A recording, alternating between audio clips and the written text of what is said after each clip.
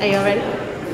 Okay, so Danielle is a former tennis standout at Michigan, also most recently the head women's coach at Yale University, and among many other accomplishments has also just launched her own company, Danielle Lund Coaching. So I'd love to welcome you up and thank you so much for being here.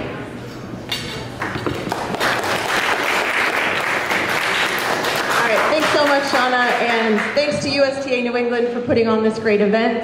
Thanks to all of you for coming, and we have a fantastic panel of college coaches here with over dec decades of college coaching and recruiting experience, and they're going to share as much knowledge as they can with you tonight, um, answer questions. So the plan is I'm going to moderate this panel. We're going to cover as many topics as we can about the college, how to navigate the college tennis recruiting process and we are going to save about 10 or 15 minutes at the end for q&a and open it up. So if you have questions definitely feel free to ask those at the end. But before we get started i'm going to have our fabulous coaches introduce themselves tell us where they're currently coaching a little bit about them and maybe any other previous institutions that you guys um, have experience coaching at would be great. So.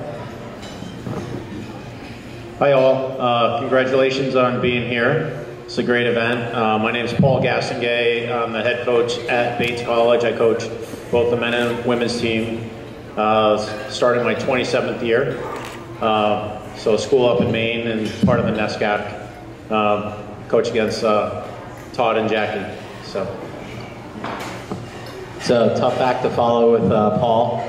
Um, I'm the Amherst men's coach. I've been here nine years, I think um, and 26 year overall coaching. Hi everyone, I'm JC Nunez. I'm the head coach of the women's team at UMass. I've been the head coach for six years now.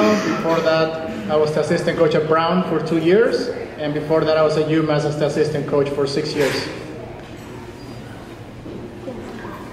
Hi, welcome everybody. This is a great honor to be here to speak with you guys. I am Jackie Bagwell. I've been at Amherst College for 33 years, I believe. Um, before that, I was at Hamilton College for three years. I can hardly remember that, but I was there. And uh, yeah, I, I, I think I'm probably going to stay at Amherst at this point.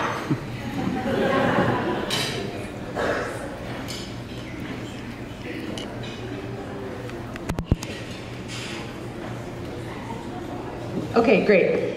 Um, so as you can see, we have coaches from many divisions here, and before I get into conversation with them, I just want to quickly give you an overview of the landscape of college tennis in case you're not aware. So college tennis, we have five divisions, Division One, Two, Three, NAIA, and Junior College. Division 1, 2, and, 1, 2, and 3 are sponsored by the NCAA, NAIA and junior colleges are, are in their kind of their own, they have their own set of rules, their own championships. But there are over 1,700 college tennis teams out there covering all five divisions. So there are options for, for everyone here, lots of different levels. Um, so, you know, really keep a, your, your, your mind open and, and lots of options open to you, especially early on. So we're going to kind of go through this chronologically um, starting with the beginning of the process for all of you and recognizing that different divisions have different recruiting rules um, as far as like the timing that they're allowed to speak with you and all of that. But um, if you guys could just talk about how does the process begin from your end? What do you do? How do you start communicating with coaches? How do you make your lists? And when does that happen?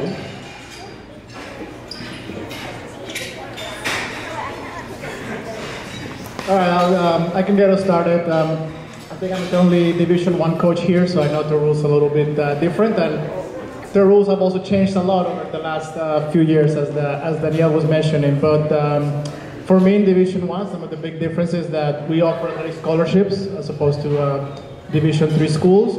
For us, the process does start fairly early. I would say by the time you finish your sophomore year, you know, is when you can start, uh, you know, sending emails out to coaches and being that communication now. Um, and the best piece of advice that I can always give, and kind of alludes to what Danielle was mentioning in the beginning, is when you start the, this process to really start broad. Like, don't don't constrain yourself too much in the beginning. I would say look at very different kind of universities in different areas, different divisions, and really try to get as much information, get as much knowledge as possible.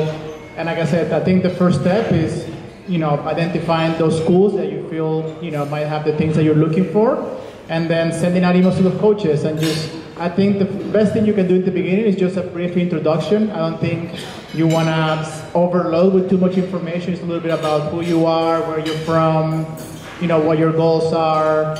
If you have, um, if you have like a video maybe of your game that you can share with the coaches, what your tournament schedule looks like, you know, for that, that coming year, so they have an idea of where you're gonna be. I think that's always the, the best thing you can do to, uh, to get the process started and get that communication going with the coaches.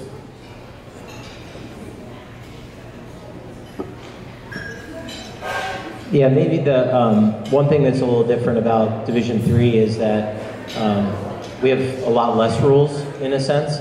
Um, where Division One is very structured, they have a strict calendar.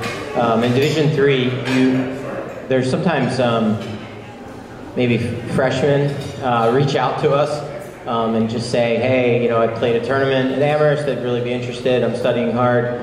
Just wanted to get on your radar. So it really it depends, um, but like Coach said, it's, it's really important to like look at a lot of schools, do a lot of research, and see what might fit uh, what you're looking for, like academically, tennis, and location-wise. The other thing I would add is don't be afraid to reach out. You know, we all have recruiting databases and tennis recruiting and UTR, and we're looking at that stuff. But it's hard to know everyone, and you can, you know, reach out to the coach first and express an interest because that'll differentiate you from the thousands of other athletes who we're looking at and recruiting. And it's about forming that relationship uh, even early on. So don't be afraid to reach out to the coach, like was said earlier.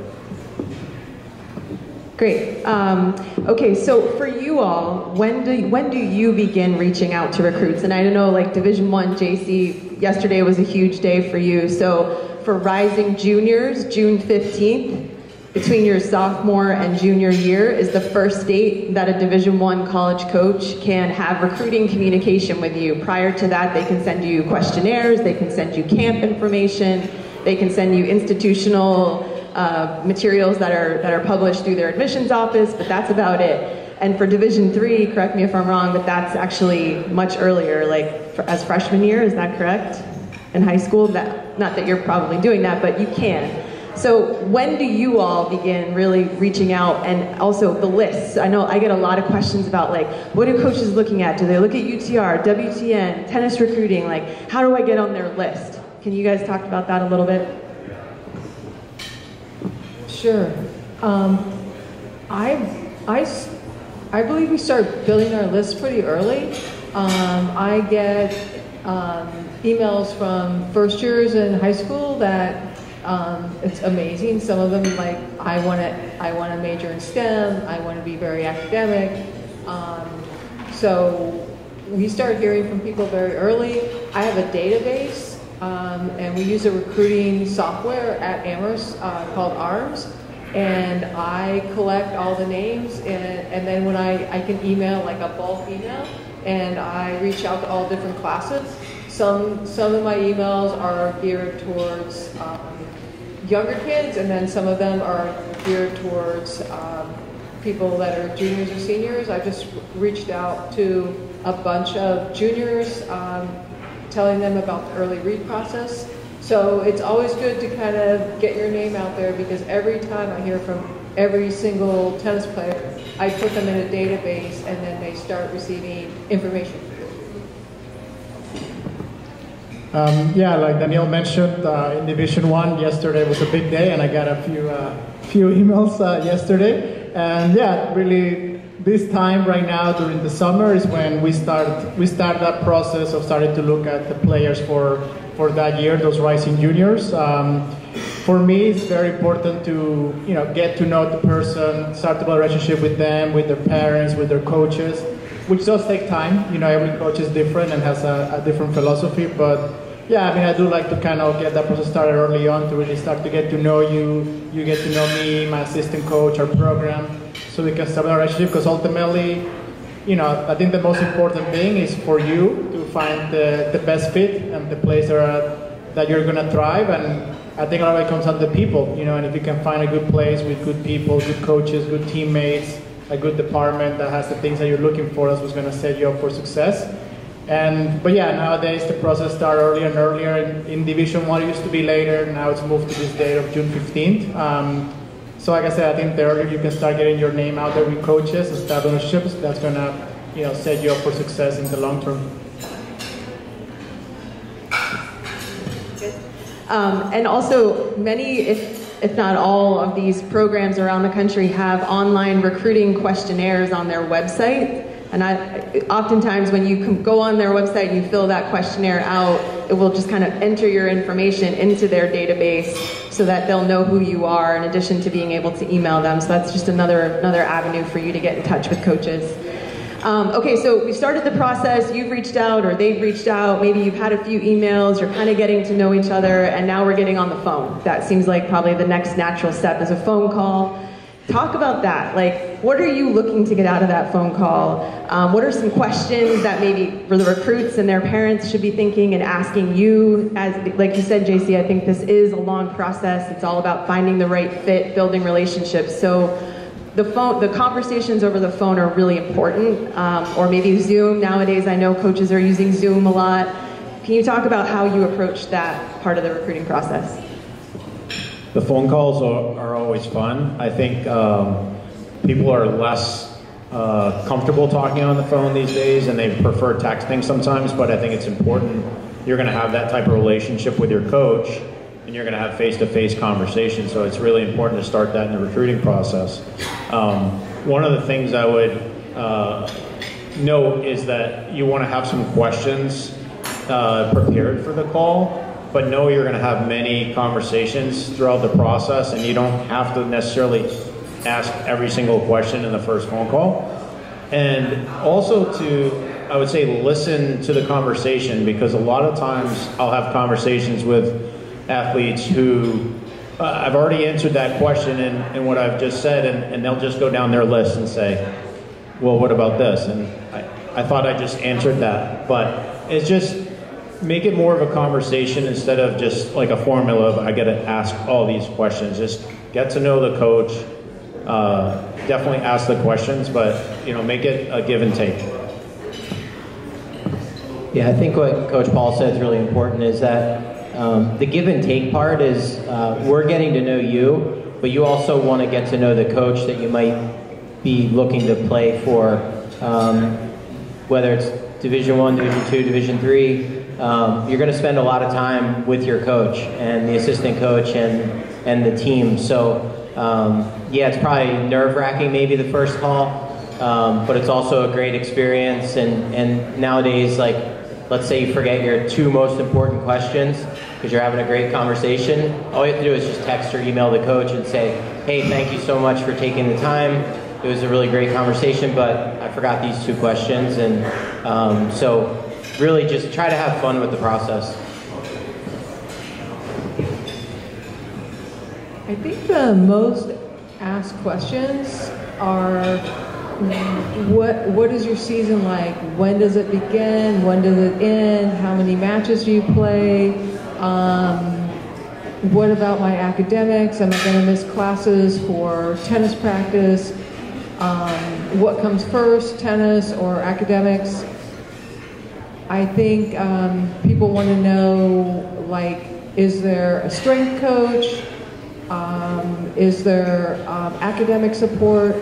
Those are good questions. Um, what if what if I'm injured? What kind of support is there for me? Um, is it possible for me to go abroad? Is that something that I that that I would be able to do and play in your program? So I think a lot of questions like that, like how many hours a day do you practice?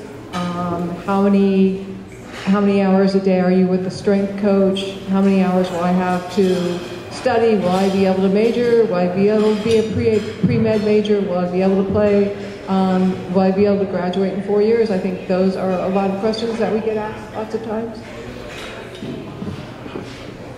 And I also feel that an, a good question, I think, to always ask the coach is to ask the coach to tell, you know, tell him or her about what their coaching style is like, what their coaching philosophy is like, what are their values, what are their goals as a team, but also to help each individual player. Because again, there's so many different coaches, and we all have, you know, we're all different, and we all have different personalities, and we all have different backgrounds and different attitudes, and I think. Um, you know, not every coach is for everybody. And I think it's important for you to find as well the coach is going to align with with your personality and your values and your goals. So I think that's also an important question to ask. And and I think as well, you know, some questions that I that I like to ask that I think would be, you know, it's good to be prepared for. Is also I like to always ask, you know, the individual to tell me like, okay, what are your goals? Like, what what do you want to get out of this experience in college tennis? Um, I also like to ask, obviously all of you who are here, you know, to get to this level, to play at this tournament, obviously you've put a lot of hours into your tennis, into your training, like you, you, you make a lot of sacrifices, a lot of commitment. And I also like to ask, like, why do you do this? Like, why do you, why do you play tennis? Why do you love tennis? Like, why do you want to be a college tennis player? Because I also feel that, you know, it's very important to know your why, you know, behind what you do, and that's something that I always like to, to ask in those conversations. No, that's great. Well said. Um, another question that I encourage recruits to ask if the coach doesn't bring it up is what's the next step for me in the process? Because I think it's important to keep the process moving. It's so easy to end a call or an in person conversation and be like, that was great. Wow, I had such a great call, and not know at all what's next. Like, do they want me to send something? Do they need academic information? you know, what, how, what is the next thing for me? Are we setting up another call? Like, what do I do? Um, so just, it, it's a fair question to ask, and I think that the coach will give you an honest answer of what that is, but that's a really good thing just to keep in mind. Um, okay, so we're moving along, building the relationship, and you guys are going to hit the road soon and travel to a bunch of tournaments this summer. Really busy recruiting period for you. Um, when you go and watch players play in person, what are you looking for? What are you watching and what are you looking for? What matters to you? Um, what are your thoughts? One of the best pieces of advice I was given, it was after college when I was playing professionally, was don't worry about your ranking, don't worry about your uh, rating, because you can want that, but you that's not how you get there. It's all about the process. So the reason I say that is I think sometimes in the summer, uh, you're all playing in front of a bunch of coaches at a, a showcase or at a tournament. You know you're being watched, and you you end up playing not to lose. And that's not what the coaches want to see. The coaches want to see you fight your hardest, have a great attitude, hustle for every ball, be the best version of yourself. Whether that means you win or lose that day, we're not looking at the win and the loss because we know that's part of the journey. You're going to have a lot of losses and you're going to have some great wins. But we want to see, you know, how do you deal with those adversities in the match? How do you perform? Because college tennis is, it's all about fighting through those adversities and, and finding a way to compete for your teammates. So you might win, you might lose, but how are you being on court during that process?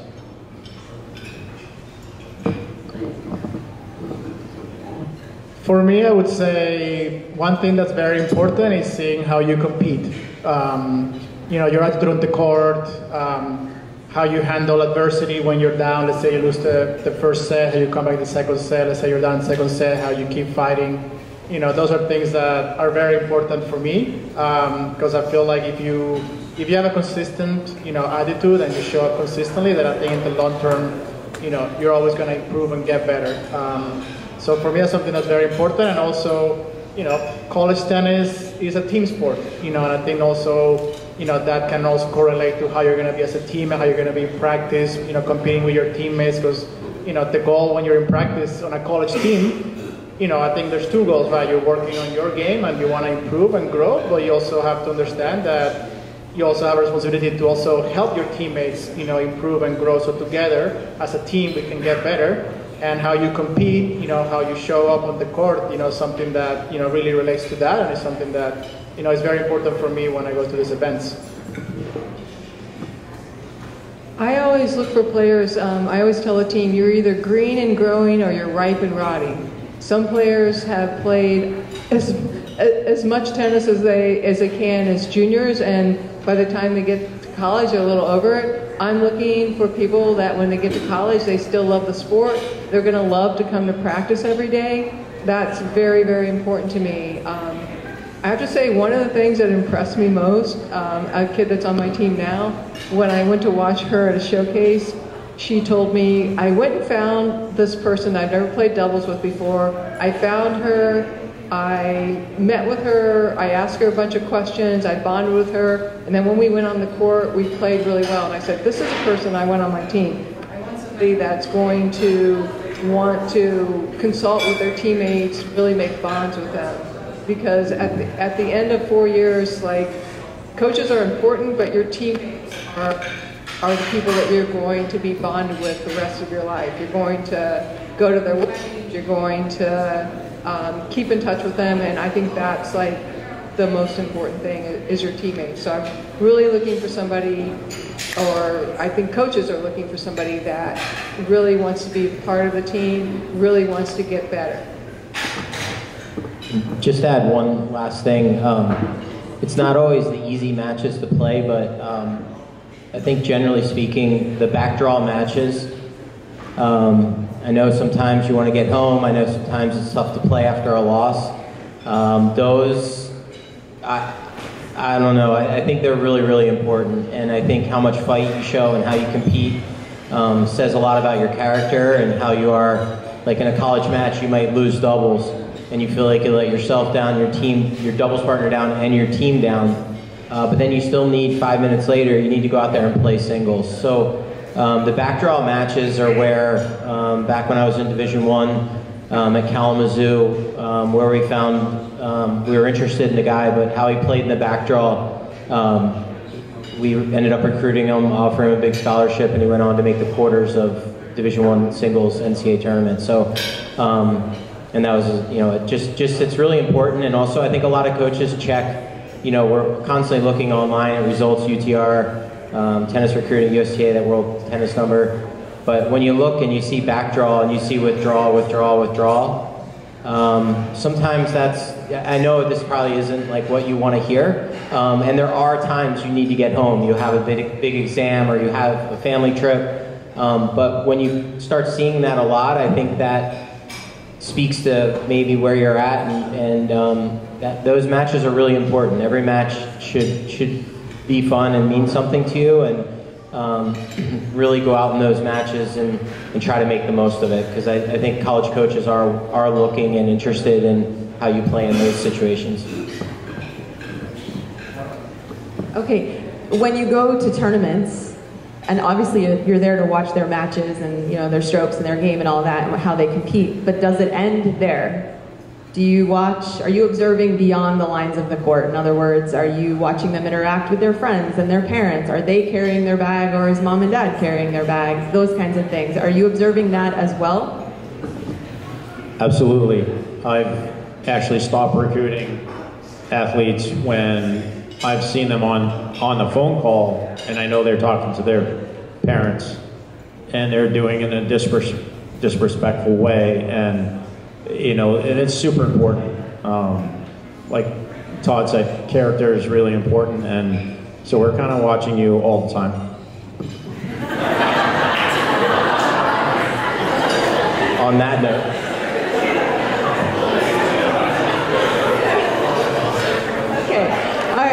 Um, yeah.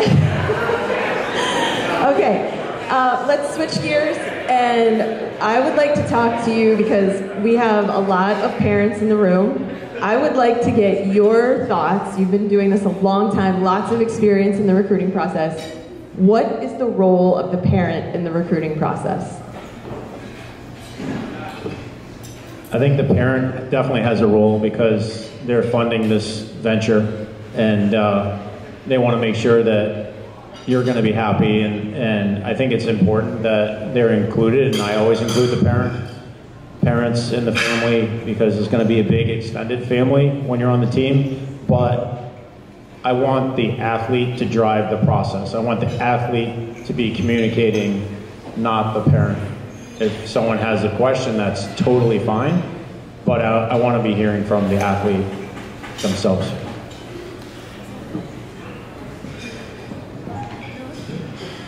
Yeah, I think he kind of you know nailed it there. I think as, as he said, um, you know, parents definitely should be a part of the process. And same thing, I always make myself available if parents want to talk to me or set up a call or have any questions. But I do think ultimately, you know, you, the athlete, should be the one driving the process. Should be the one, you know, having you know the majority of the communication. Because ultimately, wherever you choose to go, you're the one who's going to be interacting, you know, with that coach um, on a daily basis. Um, so I think. Um, I think it's just part of the, you know, of your growth process too as a, as a person. I think take the responsibility, you know, and lead that process.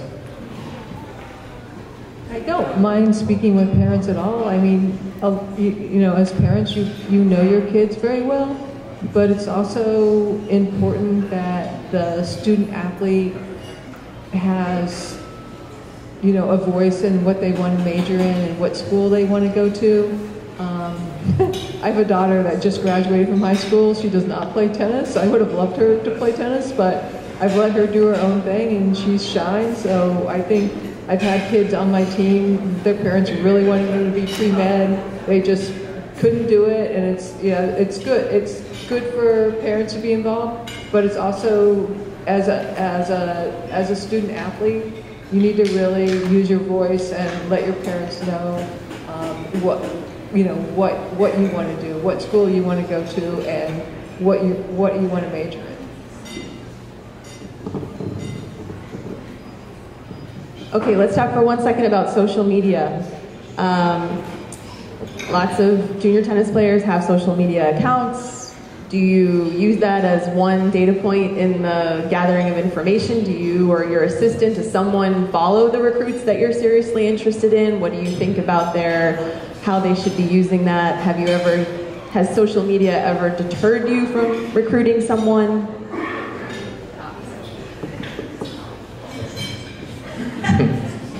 um, it's probably, uh, speaking for myself and most coaches, it's probably a part of the process, right? Like we're always trying to look for more information, learn more about you, learn more about your family, the coaches you work with, um, the fellow players you train with, what's that look like. So it, it's probably all part of the process. Um, there are stories out, there's great stories out there where social media really helped a coach make a decision, and, and there's probably some stories out there that it maybe goes the other way, and that that person, maybe a coach made the decision that person's not the best fit for their program. But, um, you know, I think it's like anything with social media, with jobs, with your looking to go to college um, and play on a team, it's all, it's all part of the process now.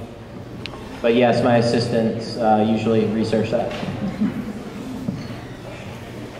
Uh, yes, it is a part of the process, and, and yes, speaking for, for our team, if we if we start to feel serious about someone and they could be a you know someone we're going to be look at seriously to join our team, then we will we will look at um, at the social media and and yes, you know, I can think of at least one example in the past with someone that, you know, after seeing some things there, I felt like, okay, maybe it's not the right fit for a program. So, I mean, I think nowadays, um, you know, it's a big part of life, and I think we all understand that. And I think, you know, you just have to, you know, be smart about what you post there. And I mean, for me personally, one thing that I like, if I if I'm really interested in someone and I, you know, check out their Instagram or whatever, and I see they have a lot of stuff posted about tennis, like you know training, practicing, tournaments. You know that's something that at least to me shows me okay, like you know they really love tennis, really serious about tennis. So you know it's just something that I've you know felt in the past. I don't personally look at people's social media um, unless it comes up some way, but the kids on my team, believe me, they, as soon as somebody shows an interest, if I mention their name or they mention Amherst, the kids on my team are all over it. And if anyone has a question, I'll just walk to where you are, just raise your hand, you can have the mic and ask, ask the question. But any final thoughts that we didn't get to? I'll just say one thing real quick, and I think all of us kind of hit on it, but it's maybe worth reiterating, is make it fun and have fun with the process. You all have put a lot of time into your tennis.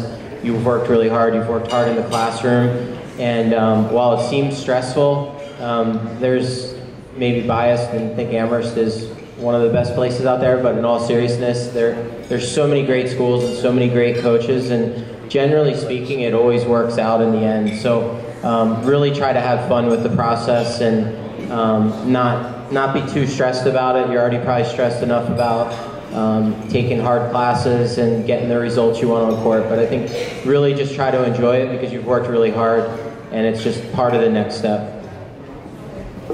Great. All right, any questions? yes, okay.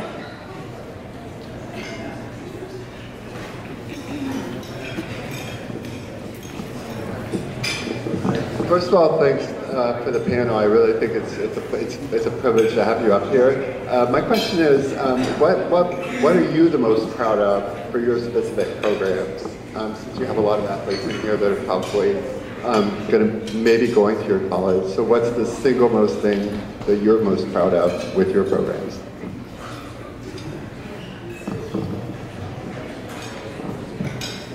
I think I'm most proud that I've been in Amherst for 33 years and I've never had to coach a kid I didn't like.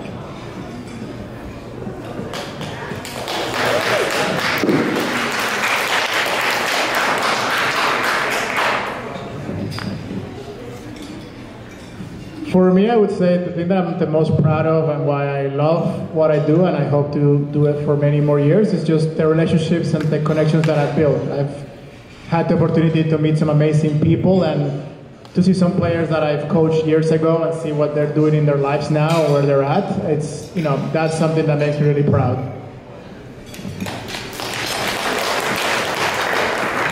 Um, very similar uh, would be being part of their journey and their process, both on and off court, and hopefully um, being a mentor in, in some shape or form with them. And then when you see them come back, uh, former players come back, whether it's just for they're in town and they're stopping by, whether it's a reunion weekend, alumni event, um, and just reconnecting with them and seeing where they're at and seeing how much the Amherst education and being part of the program um, really meant to them. It's hard to go last with this one because it's very similar, but I think the point I'd like to make is everyone has some great successes and you've had some amazing victories over the years, but it, you don't really remember that so much. You remember, uh, like Todd said, the journey and, and the, the, the time in the van or, you know, the, the meetings you had with them to help them through a tough spot. And when you see them develop and, you know, later on have uh, families and careers of their own and you see them super successful and you are just a small part in helping them navigate through that part of their life, I mean, that's extremely rewarding. Great. Thank you. Um, let's see, any other questions? Yes. Yes. Thank you very much. You guys answered a lot of questions. As a parent, I'm really uh, kind of like it's very interesting to me. So I'm going to throw a tough question. So one of the things I'm trying really hard is find the balance between tennis and academic, or tennis between tennis and then just general activity for the kids. So uh, one of the seem like common trend is doing homeschool or home, online schooling for the high school, and then so the kids can play more. From uh, from you you guys as college coach point of view, does that matter to you? And then uh, do you see a difference or any preference?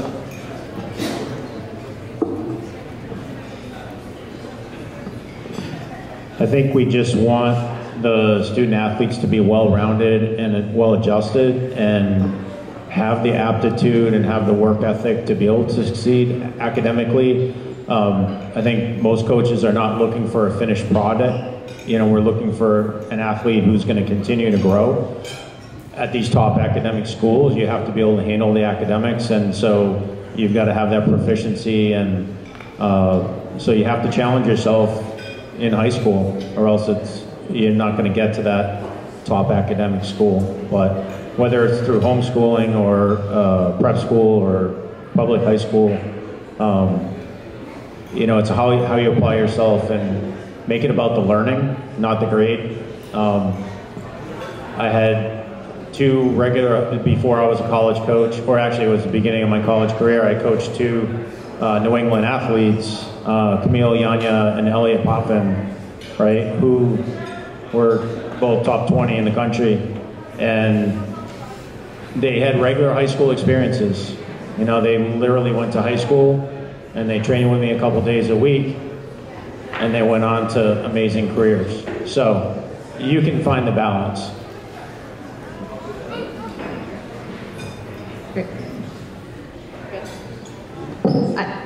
You want to ask? Go ahead, JC. Um, yeah, the only thing I would add to that is that I, you know, I really feel that there's just, there's not one way to do it. Everybody has a different path and, and a different process, and I think ultimately, as long as you as long as you have a good, you know, good goals and you understand, you know, where you want to get to, and you have a good process to get there, then I think there's many ways to uh, be successful. And yeah, I mean, all our schools here, you know, I think for all of us, we definitely value having a good balance, you know, and having a good experience. And like I said, I think if you come in with that mindset, I think you're gonna be successful no matter where you go.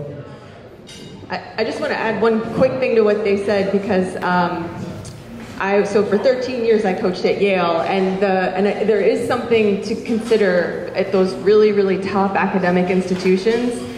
Homeschooling, not that you absolutely there are people that go to top academic schools that did homeschooling and online schooling, no doubt about it. But I think that you are admissions will scrutinize a little bit more the classes you've taken, the program you've, you've gone through, and I would strongly recommend adding, if you can, any element of in-person contact, whether you're taking a class at a local community college or because when it comes to recommendations, I think having someone that has had interaction face to face with the, the applicant really matters um, so they can speak to how are you in a classroom setting. Because if you did online or homeschooling you're going to transition to college. You will be in the classroom. You will be expected to participate meet rigorous deadlines and, and so on and so forth and then add on to it the um, demands of being an athlete missing class and so forth. So just i think you really want to be strategic with it um, and plan ahead and try to find that in-person component if, if you can for sure.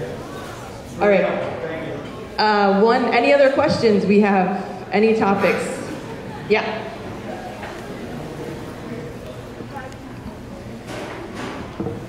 Thank you all. Um, this has been a great night of um, questions and answers. I do have one um, question, being from the New England area. Do you find yourself recruiting mostly from New England or outside of New England, given the kind of sport that tennis is? I'm sure we all here different states have this type of rigorous outdoor program or year round. Coming from New England, how do your teams look in terms of reflecting kids in?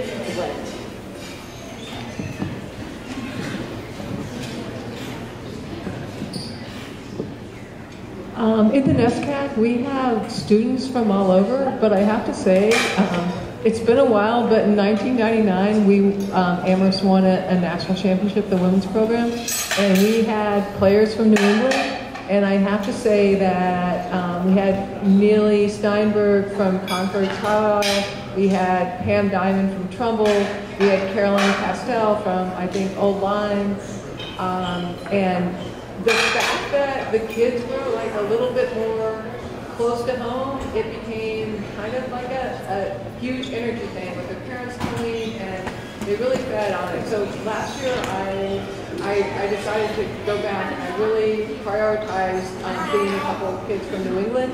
And we have uh, Maddie Swire and uh, Sophie Jock. I always say her name wrong, but I have to say that the energy from the New England kids on a little, on little bit more of a local team that is, um, and, and, and the team did really well this year. And I think like the New England, the New England part of it, like, I, you know, I, um, I kind of embrace it. Yeah, I think, um, I think a lot of us become really familiar with everyone from New England because we see everyone more, um, which is a really, really good thing. Um, we had, uh, over a year ago, Harris Folks graduated. Um, he was unreal for the program, um, New England player. Um, we had Shaw Rylander graduate this year, um, previously Aaron Revson. Um, so there's been a lot of New England. I think that NESCAC in general um, while we end up recruiting all over and every year is a little bit different, but um, there's a lot of players from the East and Northeast in the conference for sure. Great. We have one more question. I think we have time for one more. Anyone? No? All right. Well, can we get a round of applause for our panelists?